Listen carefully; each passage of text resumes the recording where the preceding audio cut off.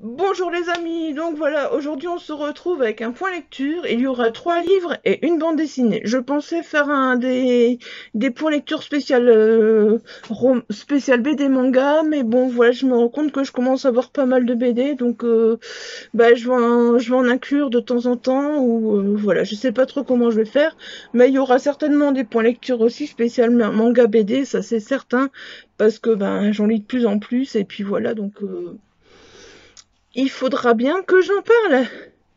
Surtout que j'ai lu des très très beaux mangas, donc euh, voilà.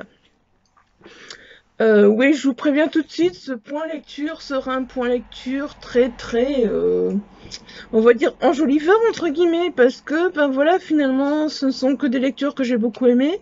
je voulais mettre un livre dedans, où je trouvais quelques petits défauts au livre, pour dire justement de ne pas avoir que, enfin que que des, que des choses enjolivées, malheureusement. Euh, j'ai tourné mon bouco, j'ai tourné euh, ma palle de l'été, et puis bah, le livre, je sais pas, je, l'ai rangé, je ne sais pas. Est-ce qu'il est, est, qu'il est parti avec le bouco Est-ce qu'il est parti Je ne sais pas. Donc dès que je le retrouve, en tout cas, je viendrai vous en parler euh, dans un point lecture, c'est clair. Voilà. Comme ça, vous le savez. Bon, trêve de bavardage, j'ai voulu essayer aussi une autre façon de tourner, donc euh, j'ai voulu essayer de tourner avec l'ordinateur. Euh, ma, caméra, clairement, n'est vraiment pas suffisante pour pouvoir tourner avec l'ordinateur, donc euh, voilà. C'est soit avoir de temps en temps un son un peu, comme on dirait, un son de salle, un son, je sais pas moi, un son qui, voilà, un son qui bouge un peu. Ou alors c'est euh, avoir une image toute pourrie vous me voyez. Donc voilà, ben euh, à choisir, j'ai choisi de garder le son que j'ai actuellement pour l'instant. Et puis ben, on verra par la suite si je peux m'acheter une webcam pour l'ordinateur, pourquoi pas, et tourner comme ça. Donc, euh, trêve de bavardage, on va commencer tout de suite avec La cave aux poupées, donc de Magali Collet, voilà, donc un livre que j'ai lu en numérique, un roman de chez Tornada, voilà. Euh, franchement, ce roman, quand je l'ai vu, donc il allait sortir chez Tornada, il me tentait énormément. Euh, je crois que je me suis très très vite jetée dessus quand je l'avais parce que ben j'ai vraiment été ravie de, pouvoir le découvrir. Il euh, faut savoir que chez Tornada, c'est rare que j'ai une déception. C'est soit c'est souvent des belles découvertes, très souvent des belles découvertes, rarement des coups de, de temps en temps des coups de cœur, mais alors rarement des claques. Mais là, Magali Collet, c'est son premier roman. Elle a réussi à conquérir mon petit cœur de lectrice à 100%. Elle est vraiment très très douée, franchement. Elle est vraiment très très douée. Bon, je vais reposer la liseuse, on s'en fiche, on n'en a pas besoin. Euh, ouais, ils sont vraiment que c'est son premier roman et euh, je trouve qu'avec ce roman, elle frappe vraiment très très fort et il est vraiment très réussi. Euh, parce que dès le début de l'histoire, la couleur nous est annoncée. On fait la connaissance de Manon et de son papa. Donc euh, son papa qu'elle appelle le père. Et on est, on entre dans un huis clos psychologique. Moi, je, l'ai ressenti comme ça, un huis clos, un huis, un huis clos psychologique, au fait, mais qui est assez sombre et assez glauque, mais sans jamais tomber dans le trash. C'est ça qui est bien. J'ai jamais, moi, je me, j'ai jamais perçu comme quelque chose de trop trash, euh, comme, comme de la surenchère. Voilà, ça c'est fort important. Pour moi, c'est un point qui est fort important en fait, c'est ne jamais tomber dans la surenchère. Parce que il y, a des, y a des romans qui tombent dans la surenchère au bout d'un moment, non, moi ça passe plus. Euh, franchement, le sujet, traité par l'autrice est vraiment très dur quand même, malgré tout. Mais comme je dis, voilà, à aucun moment on se sent vraiment qu'elle a surenchère, qu'elle a abusé, qu'elle a été trop loin. Euh, c'est clair que, voilà. Moi, pour moi, c'était vraiment nickel. Donc, euh, ben voilà, dès le premier chapitre, on va se retrouver avec le père et avec Manon. Mais le père, on va le ressentir directement, hein, que c'est un type pas net, euh, qui va nous entraîner dans la noirceur des pages. On va sentir que c'est c'est lui qui va faire la noirceur de ce roman. C'est D'ailleurs, une fois qu'on va commencer à, lire ce livre, on va être entraîné tellement les chapitres sont courts, tellement euh, le rythme est soutenu. Enfin bref, ça va être très très difficile. Il va être très très difficile à lâcher. et puis en même temps, euh, parce qu'on va être curieux et curieux, mais en même temps inquiet pour Manon, parce que Manon, franchement, euh, les sentiments qu'on ressent envers Manon, c'est de la pitié, de l'horreur. Euh, L'autrice a une plume percutante et voilà, elle, nous fait vraiment euh, nous plonger dans, dans, dans la peau de Manon. Surtout du fait qu'elle emploie le jeu, voilà, c'est vraiment tout au long de l'histoire, Manon, c'est Manon qui nous raconte son histoire, donc on est vraiment dans sa peau, dans sa tête, voilà, c'est vraiment, on est très très très très, très proche d'elle. Par contre, le père, voilà, ben, euh, il est assez présent aussi, mais on, ressent très vite l'être ignoble, voilà. Et alors, l'autrice en profite pour, euh, pour aborder des thèmes qui ne sont pas très très évidents à travers le père, comme le viol, l'inceste, les violences, euh, les violences qu'elles soient physiques ou morales, voilà. mais elle tombe jamais, jamais dans le pâteau, l'autrice. Voilà, c'est ça qui est agréable. Alors la cave aux poupées, oui, ben une fois qu'on a commencé, on comprend très vite pourquoi euh, l'autrice a appelé, pourquoi l'autrice a choisi le titre. Euh, la cave aux poupées, c'est clair que voilà, on comprend très vite. La cave, c'est le, c'est l'endroit où le père s'amuse avec ses poupées. Donc en gros, euh, la cave, c'est le père, c'est l'endroit où le père ben s'amuse avec les jeunes filles, avec ses proies, comme il dit, et il fait veiller Manon sur ses proies. Voilà, tout simplement ça.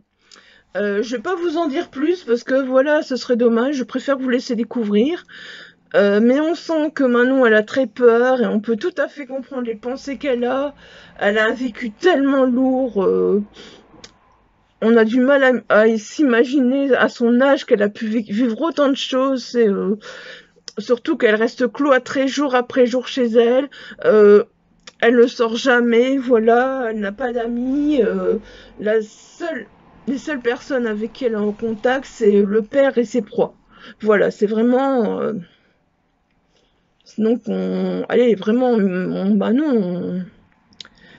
Alors, au fil de l'histoire, on va également faire la connaissance de Camille. Au début, on se demande si c'est un bien ou un mal pour Manon. On essaye de comprendre un petit peu. On se pose beaucoup de questions sur Camille. Perso, je me suis posé beaucoup de questions sur euh, Camille. Et c'est ça qui m'a fait tourner les pages encore plus vite parce que, ben voilà, j'étais très intriguée par, par, Camille. Euh, qui est ce personnage Qu'est-ce qu'elle va faire Et puis, euh, du coup, on se dit, mais non, mais encore, encore un chapitre et j'arrête. Et puis, ben, on se rend pas compte que qu'on a lu tellement vite ce livre. C'est c'est fou, quoi, c'est waouh. Et alors, la fin, ben voilà, ben euh, franchement, je sais pas, pour une fois, c'est un thriller, j'avais vraiment pas émis d'hypothèse, j'avais vraiment lu ce, thriller comme, euh, voilà, sans, sans, rien émettre, sans rien savoir. Et puis, ben, euh, waouh. Ben, l'auteur, elle a réussi à me surprendre, quoi, l'autrice, elle a vraiment réussi à me surprendre. J'ai été vraiment bluffée par la fin et franchement, ben, euh, que dire à part que je vous recommande La cave aux poupées de, de Magali. Voilà, euh, c'est un super roman, c'est un super thriller. Euh, si vous aimez tout ce qui est oppressant et tout, allez-y, foncez. Si vous aimez le psychologique, foncez. Mais si vous êtes une homme sensible, faites quand même attention. Voilà. C'est tout ce que je peux vous dire sur ce roman. Je pense que j'en ai déjà assez dit. Et on va passer au suivant. Voilà, donc le roman suivant, oui, c'est Catacombville de Pierre Boulet. Vous vous souvenez à quel point je vous avais dit que j'avais aimé L'Enfant du cimetière? J'ai encore plus aimé Catacombville. Clairement, on peut dire que euh, je pense que ce sera, je dis, je dis, je dis trilogie parce que le, troisième tome devrait bien, va bientôt sortir. Euh, donc ce sera vraiment ma, trilogie chouchou, je pense, de cette année. Euh, de euh, enfin l'enfant du cimetière, Catacombville et le troisième, je sais pas encore le titre. On ne le sait pas encore, on n'a pas encore le de savoir, voilà. Mais en tout cas, je pense que ce sera vraiment ma, trilogie chouchou de 2020. Parce que franchement, ce, enfin, ce deuxième tome, ouais, on peut dire ce deuxième tome est encore meilleur. Parce que il faut, vraiment vous dire que bah, je vous avais dit hein, que j'avais hâte de le découvrir. Et euh, franchement, j'étais contente de pouvoir profiter donc euh, des promos SEMA numériques du, coup pendant le confinement pour pouvoir le découvrir. Franchement, euh, je l'ai dévoré, mais euh, je pense que je me suis même pas arrêtée tellement j'étais prise dans l'histoire. Donc il faut savoir que ce second tome, même si il se déroule 20 ans plus tard, j'ai vraiment l'impression d'avoir retrouvé Johan comme si je l'avais quitté la veille. Voilà, c'était euh, c'était vraiment euh, Johan, c'est ce personnage auquel je suis tellement, tellement attachée. Bon, je vais, je vais déposer la liseuse. Hein. De toute façon, vous voyez sa magnifique couverture. Et encore, si vous la voyez en papier, elle est encore plus belle. J'ai déjà vu en salon en papier. Elle est encore plus belle. Je ne sais même pas pourquoi j'ai pas acheté cette, saga avant, franchement. Donc on se plonge vraiment dans ce deuxième tome, voilà, comme si on avait lâché Johan la veille. Voilà, c'est vraiment, euh, même si les 20 ans sont écoulés, euh, waouh. Alors, euh, il faut savoir qu'on retrouve vraiment, vraiment l'ambiance gothique, donc l'univers à Tim Burton, donc que l'auteur a créé. Il est vraiment resté fidèle à ce monde et c'est vraiment super. Franchement, c'est moi, c'est un univers que j'adore. Je trouve que l'auteur, il a créé un univers fascinant. Voilà, donc comme euh, la plume de l'auteur, franchement, elle est toujours, toujours aussi poétique. Euh, je vous avais dit euh, dans le premier, donc on, a vraiment l'impression que c'est l'auteur qui nous raconte l'histoire. Encore une fois, on a vraiment l'impression d'être spectateur de l'histoire, comme si Pierre Brûlé était occupé nous la conter, tant on est emporté par l'histoire. C'est, c'est magique, au fait, c'est magique. Dès les, dès les premières pages, on se prend à rêver, voilà, on est, on est comme dans un rêve, au fait, et, et on écoute. On a l'impression d'écouter, voilà. En même temps, on est dans un conte, donc voilà, ben, c'est peut-être cet effet conte qui fait que. Mais, il faut que je vous dise une chose. Il n'y a pas que nous qui rêvons. Mais je ne vous en dirai pas plus. Il faudra le lire pour le savoir. Alors, euh, franchement, que ce soit la description du moment, la description des lieux, la description du personnage, euh, franchement, tout est vraiment bien fait. On se retrouve avec Cora, qui n'est autre donc que la fille de Johan, et on comprendra très vite d'où il y a le nom bah, de la petite fille, euh, surtout si on a lu le premier tome déjà si vous avez lu le premier tome, surtout ne commencez pas. Moi, il y en a qui disent qu'on peut lire Catacombville sans avoir lu l'enfant du cimetière. Moi, je pense qu'il faut quand même avoir lu l'enfant du cimetière et puis lire Catacombville après. Ce sera, euh, c'est quand même mieux. Mais si vous avez le premier tome, vous comprendrez pourquoi euh, ben, la fille de Johan s'appelle Aura, vous, vous comprendrez quoi.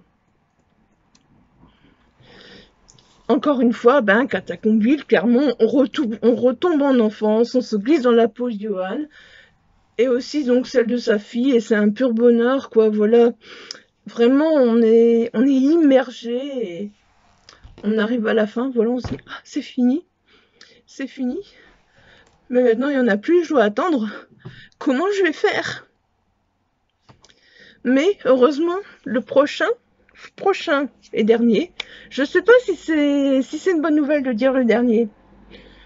Euh, oui, j'ai envie de lire le prochain, j'ai envie de lire le dernier, mais en même temps, se dire c'est le dernier, il y en aura plus après, il y aura plus Johan.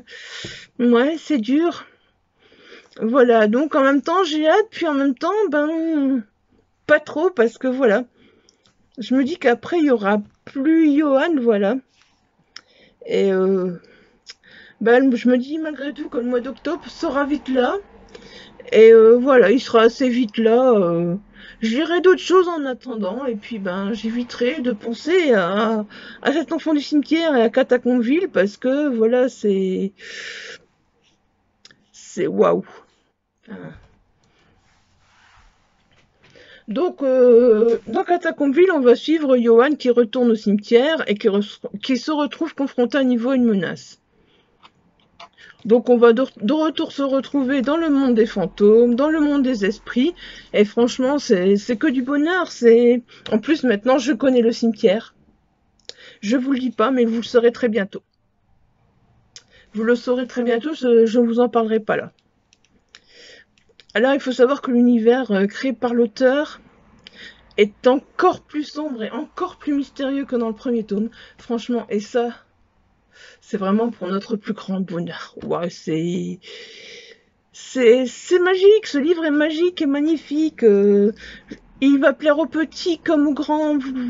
si vous le lisez, je pense que vous allez être, euh, vous allez être conquis parce que voilà, euh, que ce soit un enfant qui lit ou un adulte, voilà, je pense, on le verra différemment, mais on aura tous ces petits bonheurs à travers ce livre, voilà parce qu'on se retrouve en même temps spectateur d'une magnifique leçon de courage, de merveilleux messages d'amour, et ça, euh, voilà, c'est c'est encore une fois, voilà, à chaque fois l'auteur nous fait passer des messages, mais je pense que peut-être nous, plus adultes, nous les comprendrons mieux qu'un enfant. Après, ça, dépend d'un enfant à l'autre, encore une fois, et euh, voilà. Donc, euh, que vous dire de plus, à part que j'ai envie de vous dire, j'espère que je vous ai convaincu de découvrir l'enfant du cimetière, Catacombville, de foncer découvrir cette, saga, voilà, cette, trilogie, ces deux premiers tomes, en attendant le troisième, euh, voilà. Je ne peux rien vous dire de, je peux rien vous dire de plus. Foncez, foncez, foncez. C'est ma, c'est mon, c'est ma saga chouchou du moment, quoi. Voilà. Il n'y a pas, pas d'autres mots, donc euh, foncez. Et alors, euh, reste à l'affût sur la chaîne parce qu'il y aura une surprise. Il y aura une surprise par rapport... Euh, qui est en lien avec l'enfant du cimetière et Catacombville. Mais je ne vous en dirai pas plus pour l'instant. Restez à l'affût sur la chaîne. Voilà. C'est tout ce que j'ai à vous dire. Donc je vous mettrai ma chronique écrite euh, en barre d'infos comme d'habitude. Hein, voilà, en barre d'infos. Donc toutes mes chroniques écrites seront en barre d'infos. Bon, sur ce, on va passer au roman suivant. Donc voilà, pour le troisième roman duquel je vais vous parler, ça va certainement être une surprise. Une surprise pour ceux qui me suivent depuis un moment. Oui. Voilà, parce qu'il s'agit de SF. Ouais, j'ai lu de la SF. Et qu'est-ce que j'ai pensé de la SF Donc voilà, c'est l'ambassadeur de Jean-Marc De Vos, euh, un auteur autorité qui franchement euh, mérite vraiment sa place donc euh, dans le monde de l'édition, qui franchement mérite plus que de l'auto-édition. Franchement, j'ai passé un très très bon moment. Euh, je remercie Paul et Jean-Marc. Paul pour m'avoir donné envie de le découvrir, Jean-Marc pour m'avoir fait parvenir le roman. Voilà, c'est j'ai vraiment sortir de ma zone de confort, ça m'a fait du bien. Euh, ce roman a été une très très belle découverte aussi. Ouais, voilà, je vous le dis, il n'y a que des belles découvertes. Euh, alors ce roman, déjà, qu'est-ce que, comment ça s'est passé avec? Franchement, je vais vous le dire. Euh, je me suis dit, mais pourquoi je n'ai pas lu de SF avant? Euh, franchement, ce roman, il m'a vraiment donné envie de lire plus, plus souvent de la SF, plus souvent donc de me pencher sur les différents genres de SF, parce que franchement, j'y connais rien, moi, en SF, j'y connais rien du tout. Et justement, pour, un novice comme moi en SF, bah, je peux vous dire que la plume de l'auteur est très très accessible. Euh, franchement, j'ai vraiment passé un très très bon moment. J'avais j'avais une grande grande appréhension. Euh, j'en ai parlé plusieurs fois avec Paul, qui se reconnaîtra. Euh, je lui ai dit, j'ai une grande, grande appréhension de commencer ce roman euh, de la SF. Moi, j'en sais rien. Je sais pas si je vais aimer, si je vais pas aimer. Franchement, euh, mais si j'aime pas, je fais quoi J'ai reçu les livres et alors Mais il me dit, tu aimeras, tu aimeras. Et en effet, oui. Je, peux dire, oui, j'ai aimé. J'ai vraiment aimé. Mon appréhension s'est très très vite envolée parce que j'avais peur de me perdre dans l'univers. Euh, je me suis dit ouais, les univers SF, c'est complexe, c'est et finalement non, je me suis laissé entraîner par les descriptions créées par l'auteur euh, et l'univers tellement, tellement, euh, voilà, c'était c'était super. Bon, il y a un peu d'indulgence, hein. c'est la première fois que je parle d'un roman SF, donc ce ne sera pas facile. Mais franchement, euh, ce roman, j'ai vraiment un peu l'impression que c'est comme si je, redécouvrais la littérature autrement. D'une façon brillante, intelligente. Enfin, niveau évasion, je sais pas, c'est un moment où je suis complètement... Euh, j'ai complètement quitté mon chez-moi.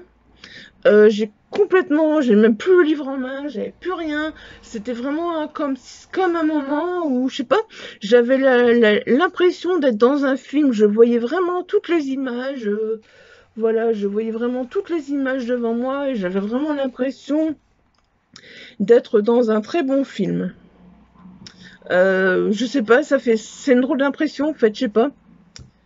Alors franchement, euh, je vais pas vous dire j'ai dévoré ce livre, non, c'est pas vrai. Au contraire, j'ai eu envie de prendre le temps de lire, de vraiment le déguster, de prendre euh, de le lire petit à petit, de peur de, perdre, euh, voilà, de perdre des éléments importants, de perdre la moindre bouchée à l'intrigue, parce que voilà, j'avais un peu peur, je me suis dit, tiens, euh, je vais le lire doucement parce que voilà, j'ai trop peur. Et puis, euh, bah, finalement, l'intrigue est tellement bien amenée, passionnante que ben voilà, on se laisse entraîner. Hein.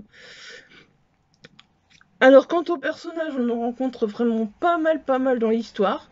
Mais on s'y perd jamais. Franchement, c'est impressionnant parce que moi, souvent, quand il y a beaucoup de personnages, je suis perdue, ça va pas. Euh. Et là, non, pas du tout. Au contraire, ils sont tous attachants. C'est, euh, enfin voilà, c'est. On y retrouve même des extraterrestres. Bah oui, je sais, c'est un roman de SF. Des extraterrestres, ça, ça surprend pas. Mais moi, j'ai pas l'habitude de croiser des extraterrestres dans mes lectures. Donc euh, voilà, c'est du pur bonheur, quoi. Surtout que la plume de l'auteur est à la fois enrichissante et humoristique. Et euh, ça fait un mélange complètement, mais complètement décapant. Et franchement, on ne peut qu'apprécier ce, cet enrichissement et puis cet humour en même temps. Euh, l'auteur a vraiment très très bien dosé ça, franchement. Euh, c'est vraiment... Alors, pour la fin, ben... Ouais, hein, quand on n'est pas habitué à lire de la SF, ben, on ne sait pas sur quoi on va tomber, on ne sait pas où on va se retrouver. Et franchement, j'ai vraiment trouvé très bien imaginé. Franchement, je ne savais pas du tout ce que l'auteur allait faire. Euh, bah, j'ai jamais de la SF, moi, donc voilà. Et euh, ben, moi, j'ai trouvé que l'auteur l'avait très très bien amené, donc euh, cette fin. Et je suis vraiment ravie. Et franchement, je vais vous dire, j'espère que je vous convaincrai de lire ce livre, même si vous n'êtes pas fan de SF à la base. J'espère que je vous convaincrai de lire ce livre parce que moi ça m'a fait ça m'a fait vraiment du bien. Je suis sortie de ma zone de confort, je suis allée vers autre chose. Euh, je ne vais pas vous dire euh, ceux qui ont ceux qui sont habitués à la SF, euh, ça me fait penser à tel auteur, ça me fait penser à tel auteur de SF. Non, je ne peux pas vous dire ça parce que je n'en sais rien. Je n'en sais rien, moi, je n'ai jamais lu de SF, voilà, donc euh, tout ce que je peux vous dire, c'est laissez-vous tenter, laissez-vous tenter par Jean-Marc DeVos et l'ambassadeur. Euh, je, vous mettrai également donc le lien de ma chronique écrite euh, en barre d'infos. Voilà, et comme ça, dans ma chronique écrite, vous pouvez voir où trouver le roman. Et je pense que si vous lisez ma chronique écrite, plus, le fait de regarder ce point lecture, bah, vous ne pourrez qu'être tenté. Vous pourrez vous dire, bah tiens, moi non plus, j'ai jamais lu de SF. Mais ça me donne envie d'essayer peut-être. Enfin, moi, c'est mon but en tout cas. Là, franchement, c'est de vous dire, moi, j'ai jamais lu d'SF, mais laissez-vous tenter. Laissez-vous tenter. Ça vaut vraiment le coup. Voilà. Bon, je pense que vous l'aurez compris. Hein. On va arrêter là. Et donc, on va passer à la Dernière lecture, une bande dessinée. Donc ce n'est pas, voilà, je vous dis, je... Pour la dernière présentation, c'est une bande dessinée, ce n'est pas n'importe laquelle. Euh, c'est une adaptation d'Au Bonheur des Dames, donc de Agnès Maupré. Euh, franchement, c'est une BD qui m'a fait passer un très très bon moment. Euh, hormis le fait d'avoir lu la BD, hormis le fait d'avoir découvert les dessins, j'ai également eu l'occasion donc d'interviewer l'autrice. Euh, par Zoom, euh, l'autrice a préféré que je n'enregistre pas, donc voilà, c'était son choix. Euh, donc j'ai retranscrit l'interview sur Geckopolis, voilà. donc je vous mettrai également le lien en barre d'infos, aussi bien de ma chronique écrite que de l'interview d'Agnès Maupré, parce que c'est une interview vraiment à découvrir, qui était très enrichissante, voilà. je pense que vous serez ravis d'aller la découvrir et vous dire, tiens, c'est intéressant, franchement, de découvrir ça et ça et ça. Enfin, moi, j'ai trouvé l'interview très enrichissante, donc euh, voilà. Bon, c'était un petit point avant de vous parler de Bonheur des Dames. Alors, franchement, ben, euh, je pense que vous savez tous que c'est une adaptation. J'ai mal à mon bras là, à tenir déjà. C'est une, adaptation donc de d'Émile Zola, voilà, faut pas vous le cacher, hein, tout le monde le sait. Euh, alors personnellement, je me souvenais vraiment plus si je l'avais lu ou si, je l'avais lu ou pas déjà au Bonheur des Dames. Et c'est en lisant la BD que je suis revenue, ça m'a fait Ah mais tiens, je connais ce passage, je connais ce passage, j'ai déjà lu. Voilà. Donc euh, je ne garde plus tous les souvenirs de bonheur des dames. Je ne peux plus vous dire si oui ou non, euh, voilà. Mais je pense que ça a été très bien adapté. Et euh, on voit que à l'interview, c'est clair que je sais que l'autrice est vraiment vraiment bien amusée. Donc au niveau du scénario, au niveau des dessins, euh, elle s'est vraiment, vraiment bien amusée. Voilà, c'est clair et net. Euh, ça s'est senti dans la, dans la, façon dont elle s'exprimait. Euh, enfin voilà, je trouve que cette bande dessinée reflète à merveille donc le classique de l'époque, l'époque, l'époque de bonheur des dames. Au niveau des illustrations et des textes, c'est vraiment très réussi. franchement, l'autrice a fait un très beau travail. Regardez, Regardez les illustrations. Donc elle a fait les illustrations, elle a fait les textes. Et alors il y a... Ah, je sais plus son nom maintenant, zut, je l'ai oublié. Je l'ai oublié, zut. Je l'avais tout à l'heure. Je l'avais en tête. Il y a... Qui c'est qui a fait? Et donc elle a, fait appel à un coloriste. Mais euh, vous découvrirez tout ça donc dans l'interview si vous voulez, si vous voulez en savoir plus. Le coloriste c'est Grégory Elbaz, voilà. Euh, donc les couleurs, franchement, je les trouve très très belles aussi. Euh, il faut pas oublier, oui, de mettre en avant euh, le coloriste également, parce que Agnès Maupré a fait du beau travail au niveau des dessins, au niveau, voilà, de, du scénario. Mais Grégory Elbaz a fait également un super travail au niveau des couleurs. Enfin, moi, je les trouve vraiment, voilà, magnifiques. Il n'y a pas d'autre mot, franchement. Euh, je vais pas trop trop vous montrer, parce que... Bon, après, on reste beaucoup dans le noir, mais voilà. C'est beau, quoi. Je trouve que, voilà. C'est vraiment, vraiment bien fait. En tout cas, c'est clair et net, c'est que ben voilà, depuis vous avez vu dans mon book je crois, je me suis acheté le roman Zola et euh, voilà, ben, j'ai très envie de le relire, j'ai très envie de, de me replonger dans l'histoire de Bonheur des Dames. C'est clair et net parce que voilà, ça m'a, cette BD m'a donné envie. Alors il faut savoir que cette BD fait 20 euros, oui. Vous allez me dire encore une fois, 20 euros une BD, c'est cher, mais franchement, si moi je devais aller en librairie maintenant et choisir une BD avec 20 euros, je pense que c'est celle-là que je ressortirais parce que c'est un magnifique objet livre, franchement magnifique objet livre. Que ce soit par l'histoire, que ce soit par, enfin partout quoi, voilà. Par contre, il y a beaucoup de choses desquelles, desquelles je me souvenais plus et que ça m'est revenu un petit peu à la fois. Et j'ai été vraiment surprise et frappée par le fait que finalement, euh, bah, on était dans le monde actuel alors que cette BD aborde alors qu'il y a plus d'un siècle entre, cette histoire et nous, quoi. Il y a plus d'un siècle entre cette époque et la nôtre, et finalement on se rend compte bah, qu'il y a des choses qui étaient déjà là, il y a des choses qui n'ont pas changé. Euh, voilà, c'est un petit peu, euh, c'est impressionnant, c'est ça qui m'a vraiment touché, c'est ça qui m'a marqué, voilà. Euh, entre autres, qu'il y a toujours ce combat entre les petites industries qui doivent essayer de tenir et se battront contre les grandes. Hein. On... Voilà, on va pas se voiler la face. On prend par exemple le, petit libraire contre le grand, le grand méchant loup. Voilà, hein, euh, vous aurez compris. On va pas se voiler la face, franchement, euh, c'est impressionnant quoi. Il y a également cette lutte pour trouver du travail et le garder. Donc à cette époque-là, on a du mal à s'imaginer quand même parce que personnellement, moi je pensais que ben euh, trouver du travail, euh, voilà, euh, c'était plus facile et pourtant l'autrice n'invente vraiment rien quoi. N'invente vraiment rien. D'ailleurs, on va tout découvrir à travers Denise, qui est une petite vendeuse qui débarque à Paris avec ses frères, sans le moindre sentiment poche. Oui, ben je pense quand même qu'à cette époque-ci, on pourrait plus le faire, franchement, parce que ce serait plus possible. Et on va vraiment donc s'attacher à Denise, à elle, tout au long de l'histoire. Euh, on va voir qu'elle va se battre pour réussir. Elle va. Donc c'est vraiment un bonheur parce que Denise, on voit que c'est une battante, quoi. J'aime beaucoup les personnages battants comme Denise. Donc euh, elle va débarquer chez son oncle, pensant que la vie est facile et qu'elle pourra s'y installer. Mais bon, voilà, vous verrez. Je vous en dis pas plus. Tout ne se passera pas comme prévu.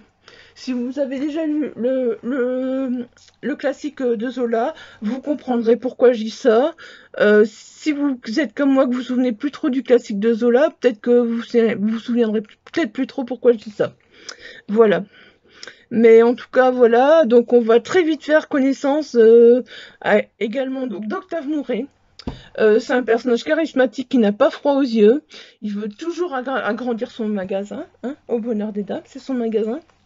c'est un gars qui a soif de pouvoir et qui se fiche bien des petits commerçants finalement et euh, on ne sait pas comment réagir vis-à-vis de lui parce que c'est voilà euh, on se dit oui il a raison il voilà d'agrandir s'il le peut mais en même temps voilà mais il faut savoir donc qu'il ne va pas ruiner que les petits concurrents, que les, allez, mais également toutes les dames qui vont venir chez lui parce que il va attirer les dames et puis voilà, ça va, ça va vraiment être, euh, ça va être limite pour euh, celle qui aura la plus belle robe et voilà, ça va vraiment être. Euh, enfin voilà, j'ai vraiment été surprise de tout ce, de tout ce dénouement en fait. Je m'attendais pas du tout à ça.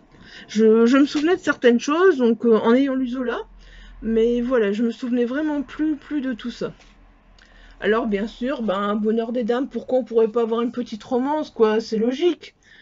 Euh, donc euh, une petite romance qui va naître au cours de, de cette histoire et on va se poser pas mal de questions sur cette histoire d'amour, sur ce qui va en être et ben, l'autrice a vraiment su nous entraîner dans cette romance. On se pose des questions et et l'autrice va également nous entraîner donc vers, tous les divers protagonistes qu'on pourra croiser dans cette BD. Et puis voilà, on va, on va vraiment les trouver intéressants. Elle les a vraiment bien travaillés, quoi. Enfin, moi, je trouve qu'elle a vraiment bien travaillé ses personnages. Elle a vraiment bien repris l'univers de Zola. Et c'est bête à dire, voilà, j'ai rarement un coup de cœur pour une BD, mais là, franchement, au bonheur des dames, c'est pour moi un sans faute, c'est une super adaptation, c'est un super scénario, c'est des super dessins, voilà, c'est que du bonheur. Euh, les textes sont très élaborés, les dessins pareils. Euh, franchement, euh, entendre l'autrice parler du temps qu'elle a mis à faire cette BD, voilà.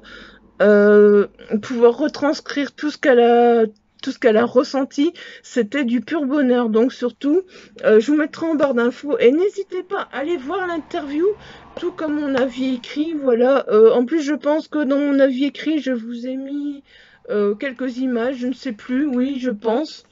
Donc voilà. Et dans mon avis écrit, bah là, je peux pas, je veux pas le mettre, mais il y a une petite chanson à la fin. Voilà. Voilà, ici, il y a une petite chanson à la fin. Et donc euh, je vous ai mis le lien vers la chanson si vous avez envie de l'écouter. Je ne vous dis pas pourquoi il y a la chanson, je vous laisse également le découvrir dans l'interview. Voilà, j'ai pas envie d'en dire plus. Ce sera à vous de le découvrir. Bon voilà, vous aurez compris. Laissez-vous tenter par Au bonheur des dames de Agnès Maupré chez Casterman. Franchement, voilà. Euh, je vais m'arrêter là parce que je pense que ça va faire presque 10 minutes que je vous parle de cette BD. Ouais. Voilà, donc sur ce, si ce point lecture vous a plu, n'hésitez pas à laisser un petit pouce bleu. Si ce n'est pas encore fait, à vous abonner, ça fait toujours plaisir. Et puis, ben, pourquoi pas laisser un petit commentaire pour me dire si vous avez lu un livre, si je vous ai donné envie d'un livre, si je vous ai donné envie de lire la BD, ou enfin voilà, si je vous ai donné envie de quelque chose, ou pour vous exprimer tout simplement, voilà. Sur ce, je vous souhaite de bonnes lectures, je vous souhaite un bon week-end qui je l'espère sera ensoleillé parce qu'en ce moment c'est pas tip top par chez nous. Donc euh, voilà. Moi euh, pour ce week-end j'espère vraiment euh, pouvoir lire, pouvoir avancer dans mon challenge Paye ton slip. Donc je mettrai le lien ici pour vous le rappeler. C'est la vidéo juste avant. Voilà. Et puis ben je vous dis à lundi avec une petite surprise. Lundi il y aura même très belle surprise, mais je vous en dis pas plus maintenant. Bye bye, portez-vous bien